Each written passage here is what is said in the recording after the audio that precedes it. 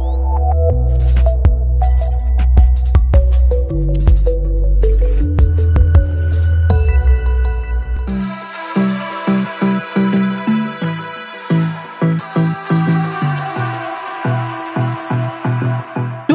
بمكتب الصرف بالدار البيضاء فعالية النسخة السادسة من ملتقى موردي الصناعات الغذائية الذي افتتح أبوابه أول أمسنا الثلاثاء أمام كوكبة من الفاعلين في هذا القطاع. نحن في الدورة السادسة ديال المعرض الدولي آه، سيفيا ماروك اللي مختص في الممولين ديال الصناعات الغذائية اللي تلقاو فيهم خمسة ديال خمسة الأنواع.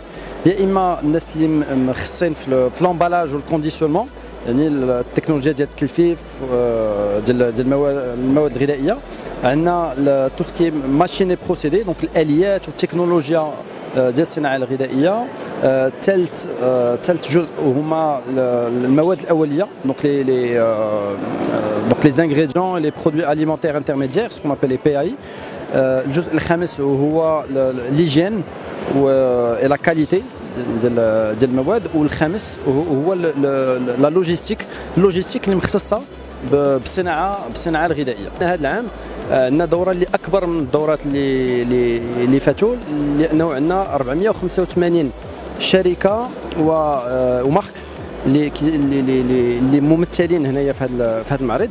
واللي آه، جايين تقريبا من 13 دوله مختلفة. جميع الزبناء ديالنا حتى هما شجعونا باش نشاركوا في هذا المعرض. اللي تيمكننا من آه، تشهير آه، المواد اللي تنصنعوا الملصقات وكذلك تجعلنا هذا الملتقى تجعلنا نتلاقاو مع جميع الفورنيسور وجميع الشركات اللي تتعمل في هذا الميدان. في هذا المعرض كنقوموا بتقديم المواد الأولية اللي كتدخل في الصناعة الغذائية.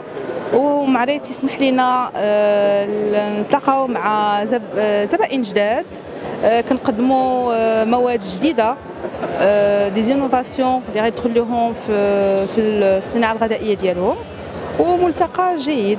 كنتلاقاو حتى مع تيعرضوا مواد أخرى. كنعرفوا فين واصلين لا تكنولوجي اللي واصلين لها الناس. ملتقى مزيان. الملتقى حاول الإجابة على عدد من التساؤلات التي تتعلق بالصناعات الغذائية وتقاسم التقنيات والحلول الخاصة بهذا المجال سعيا وراء تطويره.